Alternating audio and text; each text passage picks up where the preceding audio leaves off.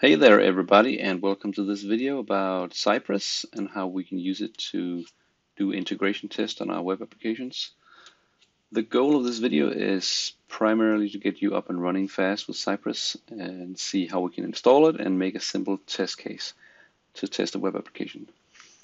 And I have a really simple login form that is composed in PHP and if we go and take a look at this uh, we have rather simple login form and uh, it consists of a username and a password and a submit button. Then we have some fairly easy, fairly simple uh, PHP code that checks uh, if the username and password is, um, and that's a hard-coded solution here. Uh, it's not connected to a database, but it is checking if you type in the correct password and it's going to redirect you to a secret area if you uh, so to speak and otherwise it's going to report that you wrote uh, the wrong username and password.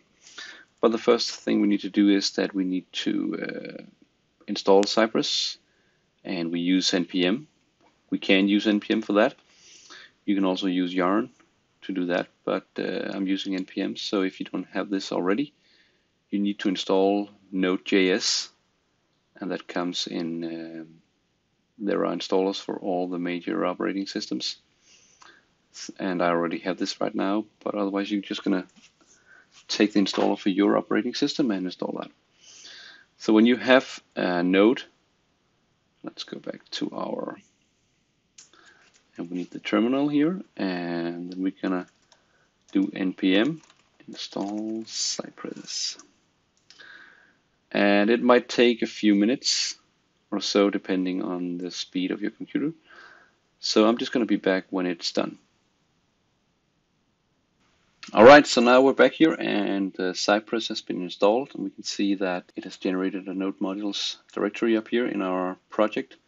And the next thing we need to do is that we need to create the scaffolding that will generate uh, directories for the tests and some examples also, among others. And the way we do this is that we execute a node modules, go into the bin directory of Cypress, and we execute Cypress open. That will generate the scaffolding, as I told you before, and also open up the test runner that will allow us to execute these tests and this might also take a few minutes to do that.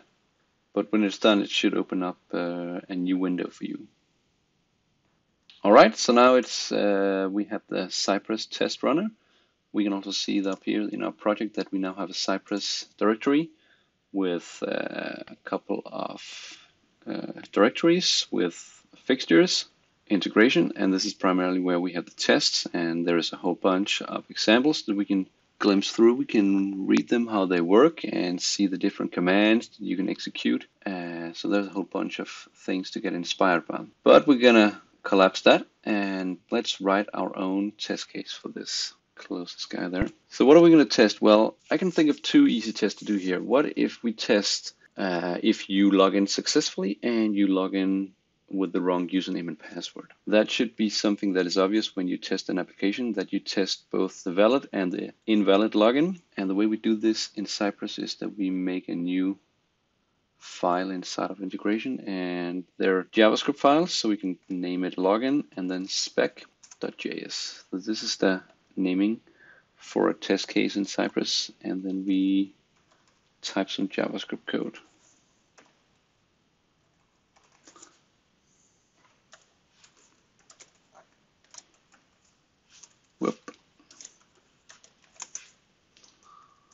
So in here we can write the different uh, test cases that we want. We can have multiple test cases and I'm just gonna do the first here that is the successful login.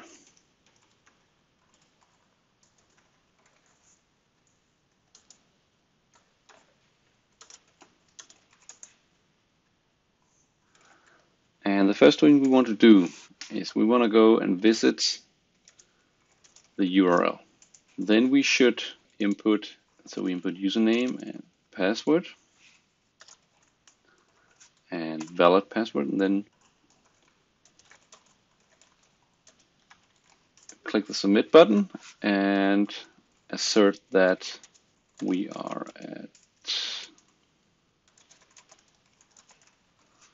okay, that was a funny word there. Okay, so the final thing is that we are going to assert that we are the correct URL, meaning that if I log in successful with the user and one, two, three, four, it's going to redirect me to the secret.php. This could be anything else. We could, we could redirect to another page. We could set the session variable. We could do anything. So we, we're going to do these four steps to make a basic successful login here. So the first thing, visit the URL. We have this Cypress object that we can execute a whole bunch of cool commands to. So we have visit, and then we're going to input our, we're going to take the login URL here, localhost, because I'm running on a local web server. So that's the first part here. It's going to visit this site. Then we're going to input um, a username, and this is done by typing input. Whoop.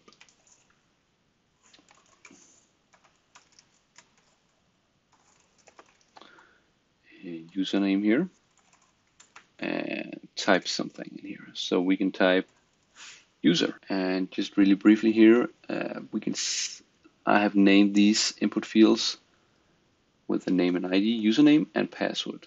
So that refers to the username here. Okay, so that's the first one.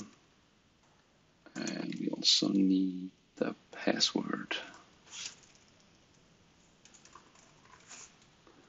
So that should be one, two, three, four.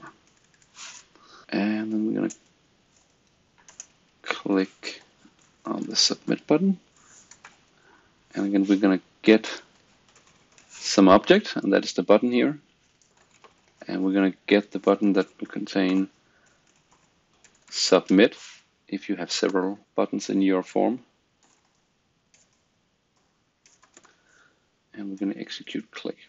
So we're simulating that, uh, or Cypress is going to simulate that the user click on, on the submit button.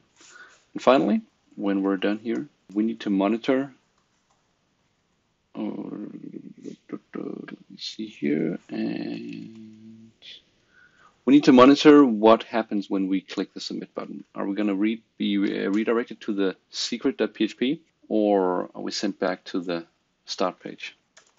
And the way we can do this is that we will Yep, so we're going to take the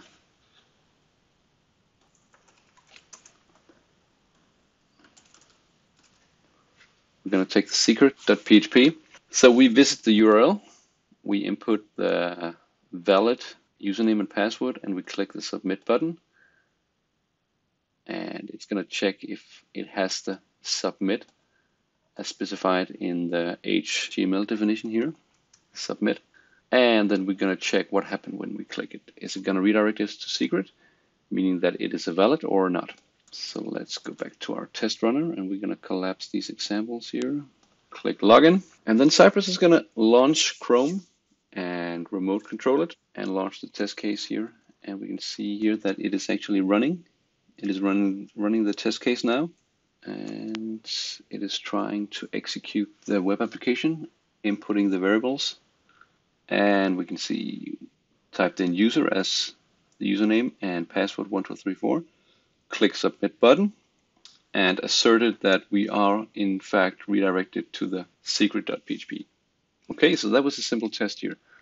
Um, now it's really easy to, if we should take the other way around, do the reverse test here. We can put another one, name it failed login. And the only difference here, uh, more or less, is that we provide a false username or password, and then it's gonna, it's just gonna send us back to the to the login form.